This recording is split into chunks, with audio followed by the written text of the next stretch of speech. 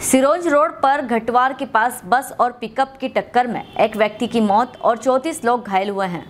कुरवाई में प्राथमिक उपचार के बाद 15 घायलों को विदिशा रेफर किया गया है। पुलिस से मिली जानकारी के अनुसार, लटेरी से बामोरी शाला बहू को लेने जा रही बस की ग्राम घटवार के पास पिकअप से टक्कर हो गई, जिसमें करीब 34 लोग घायल हो गए हैं। और हादसे में ग्राम नारायण खेड़ा थाना उनारसी कला निवासी दशरथ पिता महाराज सिंह की मौत हो गई। हादसे में घायल लोगों को आनंद फानन में एंबुलेंस और बस से सामुदायिक स्वास्थ्य केंद्र कुरवाई लाया गया जहाँ उनका उपचार किया जा रहा है। घटना के बाद पुलिस और स्वास्थ्य अमला युद्ध स्तर पर राहत कार्यों में लगा हुआ है।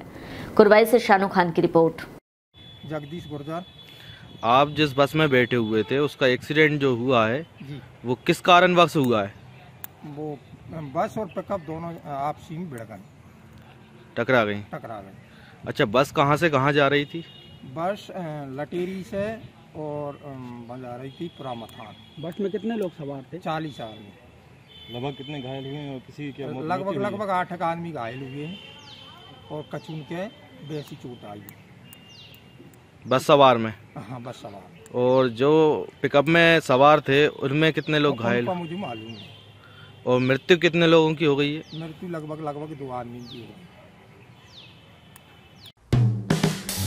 फ्रेंड्स आप देख रहे हैं हमारा channel S W twenty four news हमारे सारे वीडियो सबसे पहले देखने के लिए आप हमारे चैनल को सब्सक्राइब करें और पास में लगे बेल आइकोन को दबाना बिल्कुल भी ना भूलें।